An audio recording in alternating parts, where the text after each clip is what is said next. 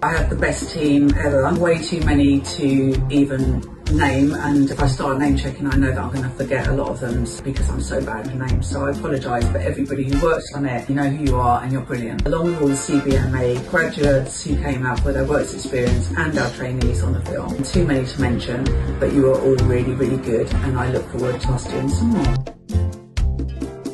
I could go on and on about behind the scenes anecdote on Beetlejuice, Beetlejuice. One of the things that I think is paramount when we was doing the Dead Cat Lady, it's literally having a sense of humour because, you know, you are dealing with something that is really sensitive uh, as in you're dealing with sort of making up people to make them look dead. It's kind of keeping your sense of humour about you that you had to see an element of fun about this, like, like our afterlife are meant to be comical.